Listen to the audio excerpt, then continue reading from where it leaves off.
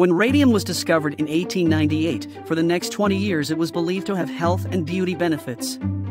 In the early 1920s, thousands of women started working in three factories in the United States to paint clock dials with radium mixed paints.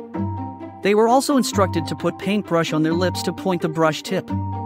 Unknowingly, these women ingested toxic radium and later developed painful conditions in the coming years.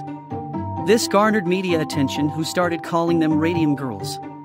Many radium girls sued their employers who tried their best to cover up, but few women succeeded to get settlements, yet it is estimated that 4,000 women died due to radiation till the 1930s. However, their deaths did lead to the establishment of tighter labor rights laws for workers and also allowed scientists to understand the harmful effects of radium on the human body.